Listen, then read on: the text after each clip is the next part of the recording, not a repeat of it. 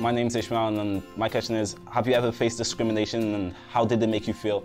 Yeah, it's uh, not an easy topic, I think like everybody knows and yeah, uh, I'm a person of color and uh, grown up in Germany so unfortunately I had to face in my youth and um, yeah, there's something like anger, sadness and uh, there's no proper reason for this. Um, my name's Osvaldo and my question is um, why do football players take the knee and how do you feel about it? I think uh, this is a sign of awareness that there's still a big problem with racism. It's uh, to make the people look, yeah, there's still a problem. Uh, we are not finished, uh, it's still there and uh, we have to take care of it. What do you think? What do you think if you see it on the pitch? I think it's a good sign of awareness. Yeah. Uh, at the start, I think, because I didn't even know what it was at, at first before, like, I was, so it gets people thinking like, oh, what is this? Which is a good thing.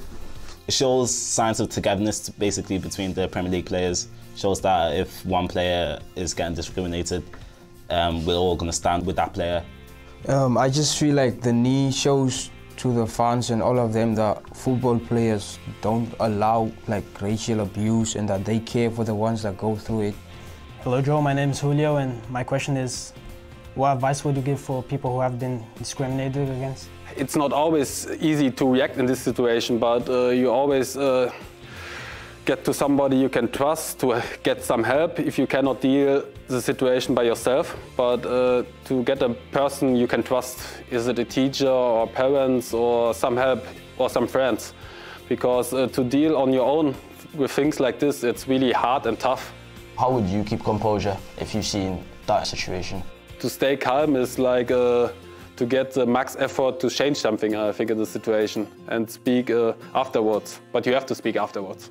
You cannot be quiet afterwards, so you have to speak afterwards loud and uh, say what the problem is and uh, who did it. Do you know how you would react if your friend gets like uh, in a situation like this? I would just advise my friend, just leave it, just stay away. But uh, at the same time, I would report him, but I would also tell my friend just not to take like action by doing something that he would regret. Take away like from the crowd and stuff my friend here that was racially abused. Like calm him down and stuff. Yeah, that would be the best way. I would obviously keep composure, try not to get involved too much, but let him know obviously that, you know, what he's done isn't good. And if he knows what he's done isn't good but regrets it himself, then I'll just be like, okay then. It's, it's just a matter of thing where if you can educate one person, maybe that person can educate another person and then that train goes on and on and on. That really sounds wonderful. It's like a way to handle things uh, that would be really great.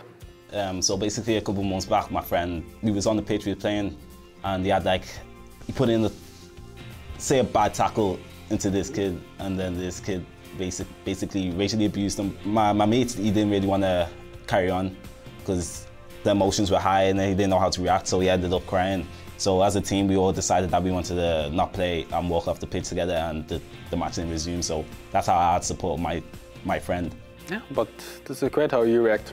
To just support your mate and uh, not get uh, aggressive or get in direct conflict, but uh, to set a sign to say it's not okay to continue like this, to make change.